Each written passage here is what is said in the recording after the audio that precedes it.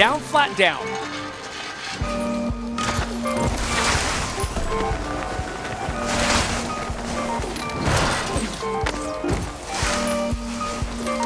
Switch to 180 and holding on to that amplitude as much as possible.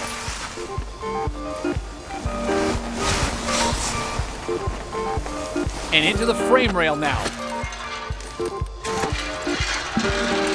Snapping straight into the grind. Nailing the 360 easily there. And the landing was nice and clean as well. And straight into a clean grind. Going for the grab during that 900. And so unlucky. Hopefully that won't hurt the score too much at the end.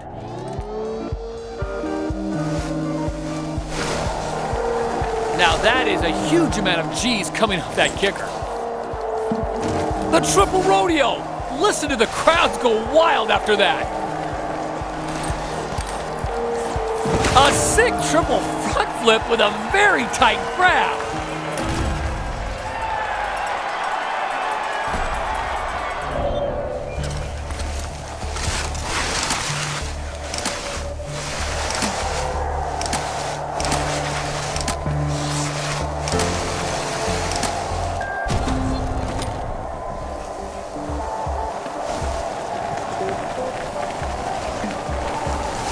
Onto the left wall.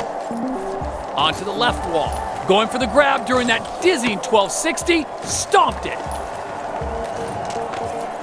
Onto the left wall. Double rodeo with a perfect grab.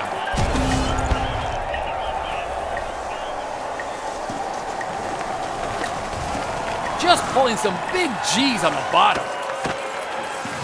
Oh, that's a tight grab on that double cork. Couldn't bring the landing gear down on that very easy 360. I'm surprised to see that.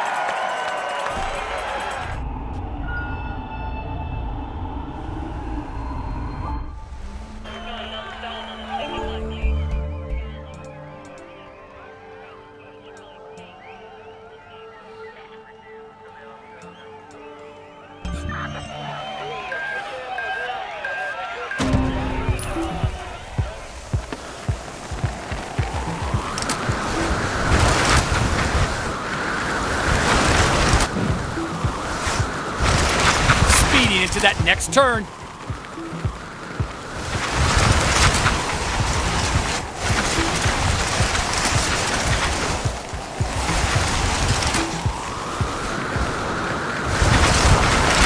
And into that huge turn now.